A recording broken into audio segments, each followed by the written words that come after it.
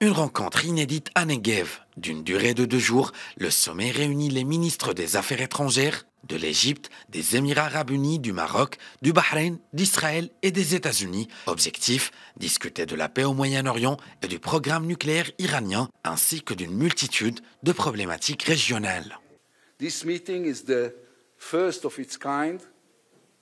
Ce meeting est le premier de son genre, mais il ne sera pas le dernier. Hier, nous avons décidé de faire de ce sommet un rendez-vous permanent. Ensemble, avec nos amis et alliés, nous ouvrirons un nouveau portail pour tous les peuples de la région, y compris les Palestiniens, pour offrir à tous un havre de paix loin de la terreur et de la destruction, pour ériger ensemble un futur basé sur le progrès et le succès.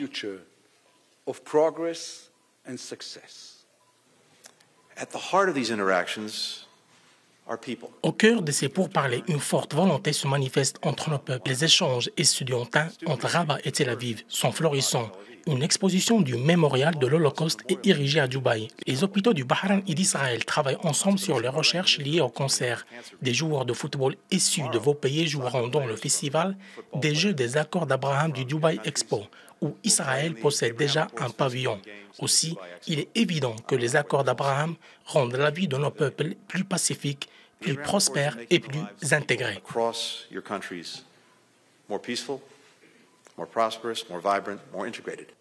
This is an important and timely meeting. C'est un meeting aussi inédit qu'important. C'est aussi une opportunité pour mieux construire les accords d'Abraham de 2020 avec un objectif commun de prospérité et de sécurité pour réaliser les aspirations de nos peuples.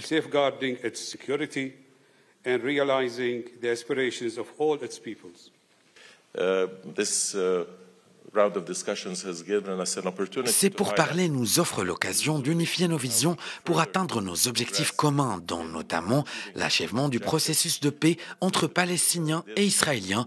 C'est pour cela que nous soulignons encore la nécessité de maintenir la crédibilité et la viabilité de la solution à deux États.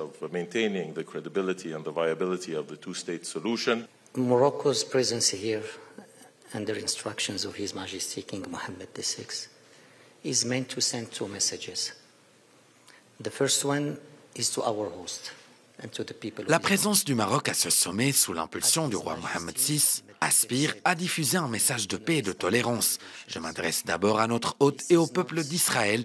Comme notre roi l'avait affirmé lors du rétablissement de nos relations, le choix du rétablissement des liens diplomatiques est loin d'être opportuniste. Au contraire, il se base sur une solide conviction, une décision hautement naturelle, basée sur l'histoire séculaire et commune qui unit les communautés marocaines et juives et qui unit également le trône marocain à la communauté juive. Il est de commun savoir que chaque Israélien possède de près ou de loin des origines marocaines. C'est une vérité vraie. J'ai aussi appris que deux maires des villes du Negev, Deimouna et Yoruham, ont des origines marocaines. Cela démontre clairement les origines séculaires que nos deux peuples partagent.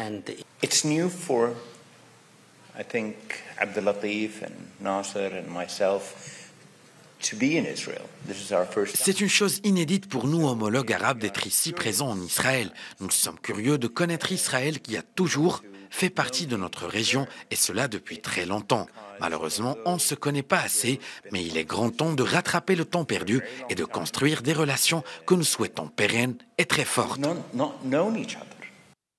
À noter qu'après ce sommet, le secrétaire d'État américain prévoit de se rendre au Maroc et en Algérie. Au Maroc, Blinken rencontrera de hauts responsables ainsi que le prince héritier d'Abu Dhabi, Mohammed Ben Zayed.